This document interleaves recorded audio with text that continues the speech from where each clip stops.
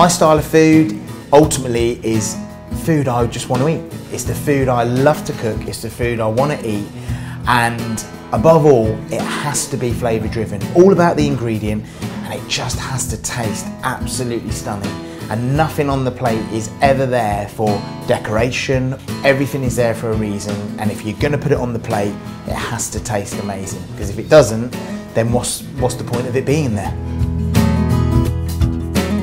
Of food is very, very produce led. I mean, it's not technique over quality, do you know what I mean? Um, we let a lot of produce do the talking. That's taken a long time to hone that style, um, but it's something we work very, very hard on to, to achieve. The way I look at it, if you're gonna make the most amazing dish, then the raw material has to be incredible to start with. It'd be like a carpenter making a beautiful cabinet with really, really poor timbers and poor materials. The end product's not going to be very good, and it's no different in our game. Now, living here in Cornwall, I'm extremely lucky that we have this incredible larder, this incredible bounty of ingredients, and my aim is to show you that when you come to Cornwall, that this is what we've got here. Paul's passion for, for local produce is, is brilliant and he sees me walking through the street. I might not even be going to his restaurant and I might be carrying a bunch of baby leeks that he hasn't got on his menu. And he'll sort of stop me and say, Ross, you know, when can I get these in? And, uh, and then I'll take them into his restaurant the next day. He'll ask me, what should he be using? This year, which is a great question for a chef to ask. The chef shouldn't be telling the grower exactly what they want. They should be saying what's best right now, what are you going to be growing that other people won't have this year, and kind of come up with a dish around that ingredient.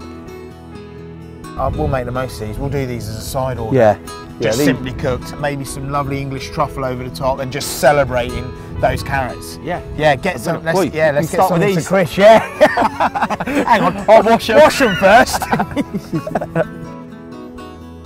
It's really important for Paul to use the local produce because if something's grown out here in a real natural in environment, it will taste better. Something that's grown under a massive controlled environment, um, something that's never struggled to grow, will not taste as good as something that has struggled slightly. And so um, the fact that it's dug up here in the morning, driven one mile into his restaurant the, the same day, the ingredient basically will speak for itself. what I love about Ross is the same the same drive behind being a chef he's put into growing vegetables, flowers, herbs, everything, and he's ultimately given us something in Padstow that we never had. We are, if you like, the middle part of the whole sort of chain of it, and it all starts with, you know, the farmer, the person that is producing this amazing product. I'm trying to get the best ingredients I can get my hands on, get the most flavour from them, and blow your mind. I'm a big believer that you must always find inspiration. You must always surround yourself with people, not just being inspired by walking on a farm or, you know, going to see some oysters or some fish or some meat. You should be inspired everywhere, and I take huge inspiration from people, and not necessarily chefs, from football managers to to sort of incredible businessmen. I enjoy being inspired. I feel that I'm sort of constantly thirsty for inspiration every single day, looking at every every sort of angle to get it.